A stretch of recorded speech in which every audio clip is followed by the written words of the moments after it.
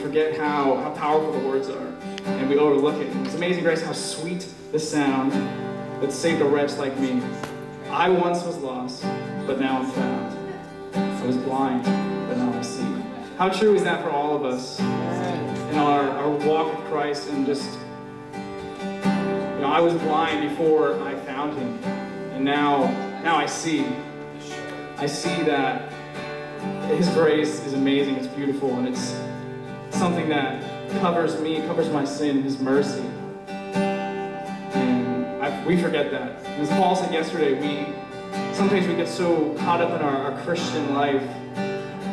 We're not living like the world. We're not living in it because that would just be too drastic. But we live the Christian life as though it's just something we do and not everything that we do. And it's not the center of all that we do and what we focus on.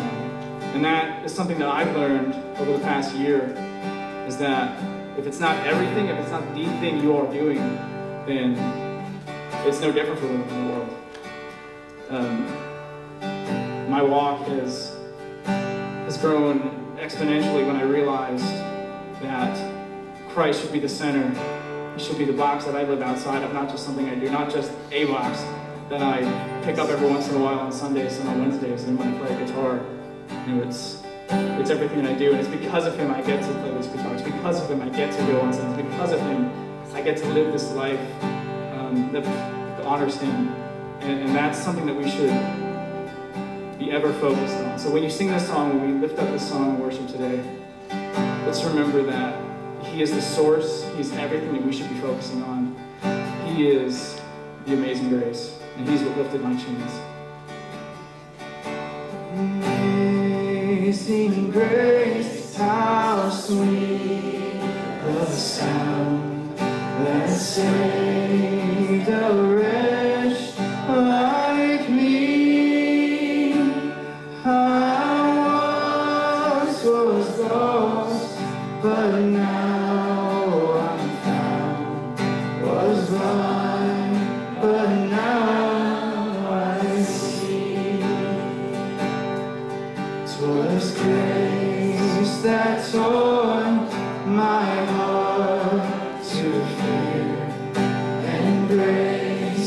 my fears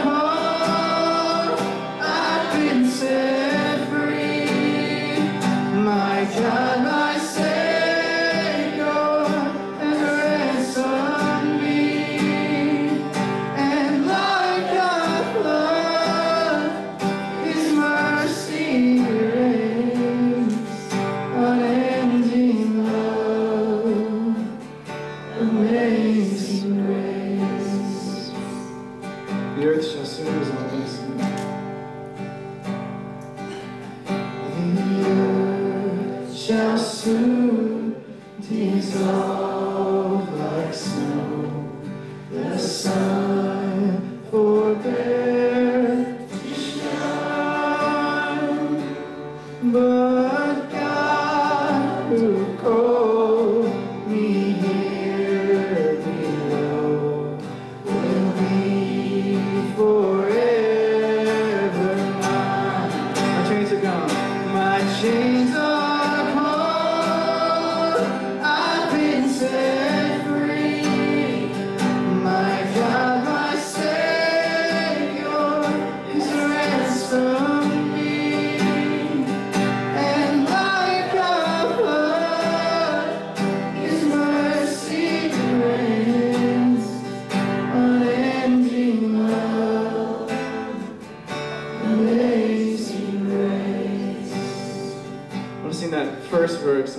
verse, one more time, just our voices.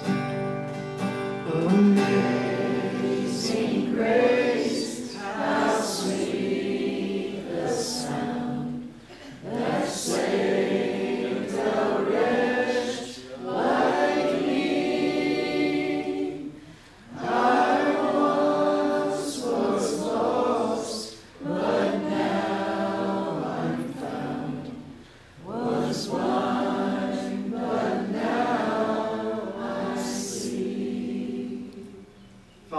you for this time in your church and your worship. Father, we thank you um, for that amazing grace that you've given me, you've given all of us.